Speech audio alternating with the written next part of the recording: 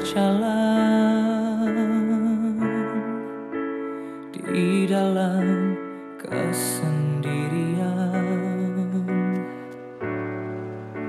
Aku mencoba tak mengingatmu dan mengenangmu.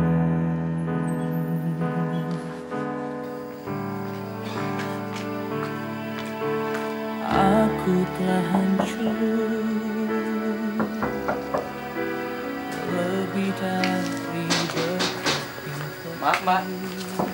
Maaf, kalau misalnya motornya nggak ada, orangnya nggak ada. karena cinta Iya. karena Iya. rasaku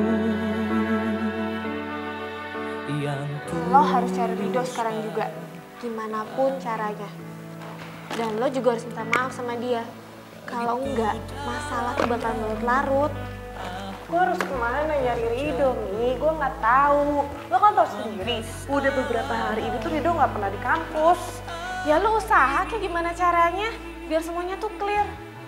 Gue curiga deh dia balik ke kampung. Soalnya aja dari kemarin gue hubungin gak pernah bisa. Gue nggak tahu alamat rumahnya di mana.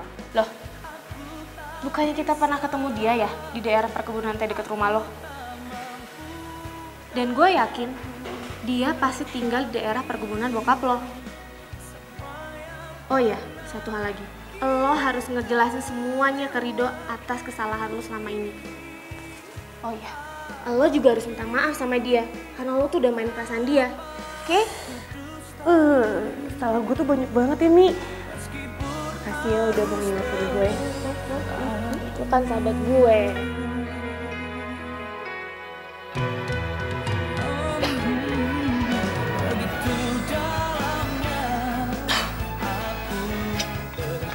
Jamunya diminum dulu. Kasih Rido.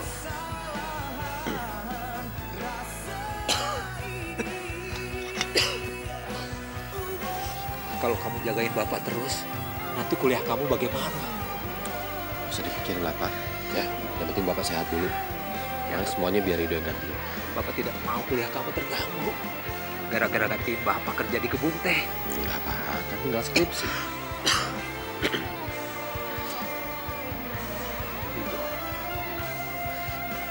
Kalau ibu kamu masih ada, mungkin ibu kamu yang ngurusin bapak. Pak, nggak usah dibahas lagi soal ibu ya Pak ya. Kan ibu udah tenang. Ntar Bapak tambah kepikiran, tambah sakit. Iya, Rido. Terima kasih, Nak.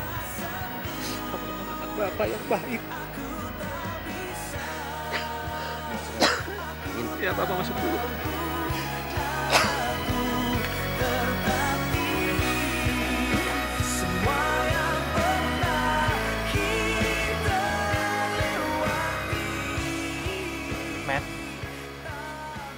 Aku benar-benar sayang sama kamu. Aku nggak pengen pisah sama kamu, Matt. Sorry ya, aku kayaknya tiba-tiba banget ngajakin kamu ketemuan di sini.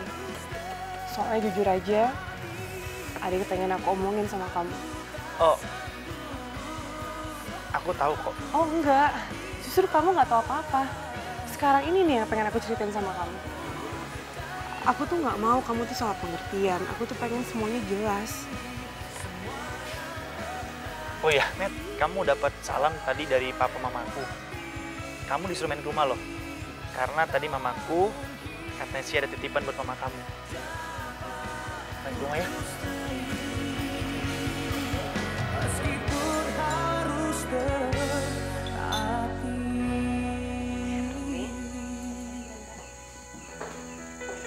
Matt, eh, Mama itu nggak ada maksud untuk maksa kamu.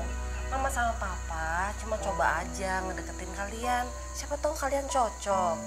Lagi pula, Renggo itu kan dari anak terpandang. Dia juga anaknya baik kok. Ya tapi kalau kamu nggak suka sama Renggo, Mama juga nggak maksa. Ya? Abisnya, Meta kesel sama Mama. Masa mau ngenalin orang nggak bilang-bilang dulu sih sama Meta? Sayang, tapi kamu nggak boleh kayak gitu, main pergi aja. Kamu ini kan udah kuliah, mestinya bisa berpikir dewasa, jangan kayak anak kecil. Ih Mama, Meta ke sini kan mau liburan, bukan mau diceramahin. Rumi, tuh lihat tuh. Kalau dibilangin sama orang tua begitu. Ya, tapi Meta udah pendekatan tante sama Rangga. Arya enak ke mana? Lu ke Letim apa barengan?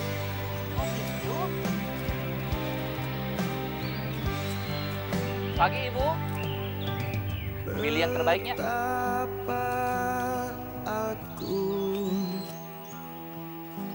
Pagi pagi. Mencintaimu Kau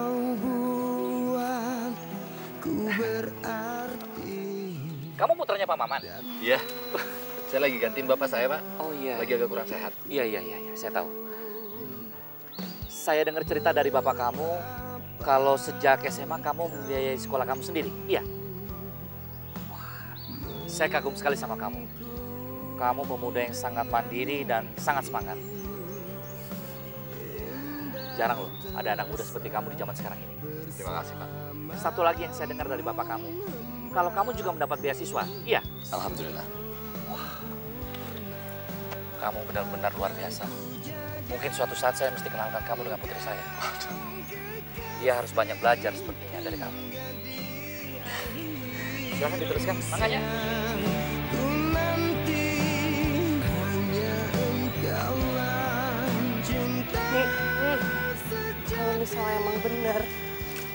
Itu gantiin bokapnya, harusnya kan dia ada di sini sekarang. Tapi gue salut loh sama Rido tuh. Lu bayangin deh, cowok secakep dia gak gengsi kerja tempat beginian. Aduh, mana sih dia?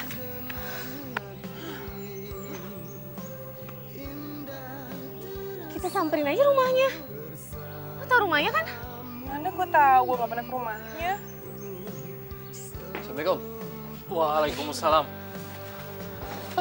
Datang aja lo. Gue ini penasaran sama lo. Katanya pulang cuma satu hari. Ini udah beberapa hari. Banyak yang nanyain lo, no. Gue sampai capek jelasinnya. Ya awalnya juga gue maunya sehari.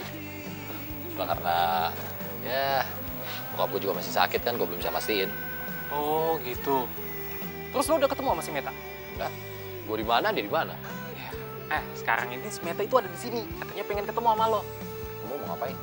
Gimana gue tahu? Kangen kali dia sama lo. Tahu.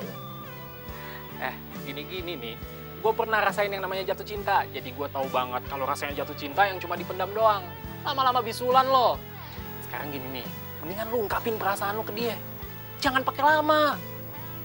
Ya segampang itu juga kali. Gue tuh masih belum yakin. Belum yakin apa? Aja. Si Meta itu kurang cantik. Bukan. Masalahnya tuh gini. Buat gue, gue gak suka ngeliat sifatnya dia. Jadi masalah itu sifat. Dan gue gak yakin itu bisa berubah karena apa? Karena itu udah bawaan lahir, susah. Manja itu bukan bawaan lahir. Manja itu terbentuk karena situasi dan kondisi. Nah, si Meta itu merasa dirinya manja karena dia anak tunggal. Apalagi dia sayang banget sama orang tuanya. Kadang-kadang pinter juga loh. Dia ngeremehin gue nih. ya sebenarnya nih. Jujur, Kenapa bohong? gue sebenarnya udah mulai suka sama Meta. Tapi gue males. Males sama sifatnya kayak gitu. Apalagi kalau udah ngeremehin orang, gue gak suka. Ini nih, lo harus bisa ngubah dia. Jangan tunggu lama, sikat aja. Daripada diembat sama orang lain, nyaho deh lo. Paling lo yang ngebahas. Ya elah kagak, Rit.